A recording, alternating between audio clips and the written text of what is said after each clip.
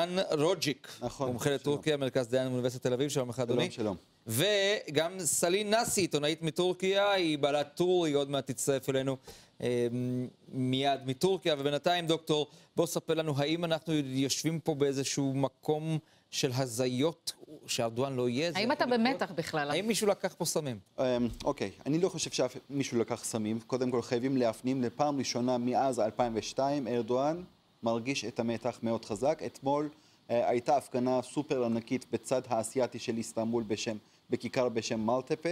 אה, לפי האופוזיציה הגיעו לסדר גודל של חמשת מיליון אנשים. כמובן, אה, הממשלה הטורקית מזלזלת במספר הזה.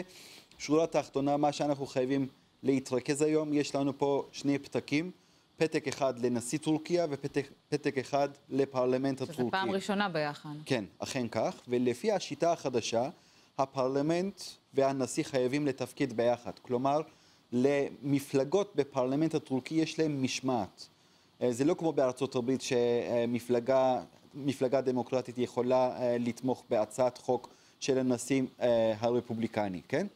אז אה, על כן, אם ארדואן נניח ייבחר, אבל אם הוא יפסיד את התמיכה של הפרלמנט, אז מה אנחנו נראה? רגע, אנחנו ככל מדברים על... הנראה, אנחנו מדברים על... על- ככל על- הנראה, כן. ככל הנראה, נראה תוך זמן קצר בחירות חוזרות בטורקיה.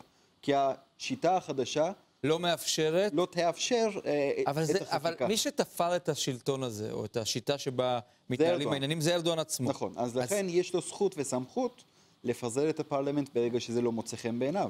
אבל ברגע שהוא מפזר את הפרלמנט, אז מה אנחנו נראה? גם בחירות עבור נשיאות. אז אנחנו חייבים להבין, אם ארדואן ינצח את הניצחון מוחץ, אז הוא יוכל להרשות לעצמו לקרוא לבחירות בוודאי. חוזרות, אבל אם הוא בדקה 90 ישיג את המטרה שלו... יהיה תיקו מאוד אה, נכון, צמוד. נכון, ובטח יהיו אה, האשמות לזיופים, אז יהיה לו כאב ראש לא תגיד, קטן. איך זה אולי הוא קרה? יצטרך, הוא יצטרך לחיות עם הפרלמנט אה, הלעומתית. איך זה קרה? איך זה איך זה קרה קרה? שאדם שכולנו, בתודעה לפחות, נכון. היינו בטוחים שאי אפשר להזיז אותו ואי אפשר להשפיע עליו ואי אפשר עדיין לא לנצח הזזנו. אותו. עדיין לא נכון, הזזנו נכון, נכון, נכון. לא, לא, אנחנו נמצאים בסיטואציה של. טורקיה. אנחנו נמצאים בקרב צמוד. מה אוקיי? שגם זה לא היה כי זה נתפס. פוגע בכיס של האזרח הטורקי. הכל כסף? כן, לא הכל כסף, אבל... כסף כלכלה, כסף, כן. כסף כלכלה, כן. והמטבע הטורקי פשוט מאבד מערכו יום ויום, דקה-דקה. אז אה, האזרח הטורקי, כשהוא הולך לסופר, אז המוצרים מתייקרים כל יום. כל יום. אה, זה משתקף היטב במחירים של הדלק, משתק- משתקף היטב במזון. וזה מגיע לפתחו, כלומר, הציבור יודע להגיד, זה ארדואן אשם, הוא אחראי אז לדבר הזה? אה, הם חושבים שהוא גם אשם בזה, כי מן הסתם מ-2002 הוא נמצא בהגה. ברגע שהוא עושה דברים חיוביים, אז כל הקרדיט הולך אליו. ברור. אז ברגע שיש דברים שליליים, מן הסתם גם הכל, כל הקרדיט הולך ומה אליו. בכל הנוגע, אתה יודע, אנחנו מדברים על ההתאסלמות ההולכת ומתעצמת בטורקיה, וזה שהמדינה נמצאת במצב חירום מאז 2016, מאז ניסיון ההפיכה הוא, כל זה לא משפיע, רק אותו משבר זה, מטבע? זה משפיע מאוד, אבל uh, קחו בחשבון שאנשים uh, אולי לא כל כך, uh, מופר... לא כל כך מפריע להם לראות uh, ענייני דת במערכת החינוך, למשל. אולי הם אוהבים שהילדים שלהם נכנסים לבתי ספר ומקבלים איזשהו חינוך דתי, למשל גם פה בארץ. עושים אימא שבת, אבא שבת וכל מיני uh, דברים למרות כאלה שהם. רוכשים, רוכשים מבית ספר, אוקיי? אז שם, אני נולדתי שם, אני למדתי שם, ב- אה, בתוכנית הלימודים שלנו לא היו דברים כאלה. אז אנשים פשוט יצטרכו לשלוח את הילדים שלהם למסגדים כדי שהם ירכשו את, ה, את הדת המוסלמית כפי שאני נשלח לבתי כנסת. כן. ארדואן יצר משבר עם ישראל לפני כמה שבועות, שדיברנו על כן. המשבר הזה, אתה נכון. ואנחנו. והנושא הישראלי, הפלסטיני, בכלל, הוא חלק אינטגרלי מהקמפיין הזה, שהוא היה רגע מסוים כל, שהוא הפנה חייבים- זרקור וזהו? חייבים להבין משהו.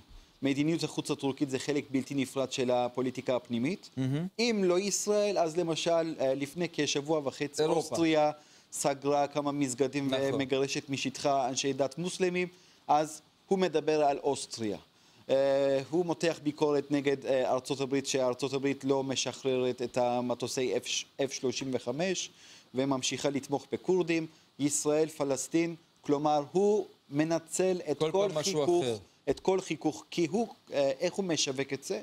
הוא אומר, הנה, אני מנהיג חזק, וכתוצאה מכך הם לא אוהבים אה, איך שאני בעצם מנהיג את המדינה, וכתוצאה מכך גורמים לנו בעיות. אז כן. ככה הוא משווק אצל העם טוב, שלו. הימור, דוקטור? אנחנו בטח עוד נדבר אני חושב, ש... אני חושב שבסופו של דבר ארדואן כן ינצח. אני לא חושב שהוא ינצח בסיבוב ראשון, אלא בסיבוב שני, אה, עם הפרש מאוד אה, מתי אמור. להיות סיבוב שני? טוב. אה, ואני, תוך שבועיים.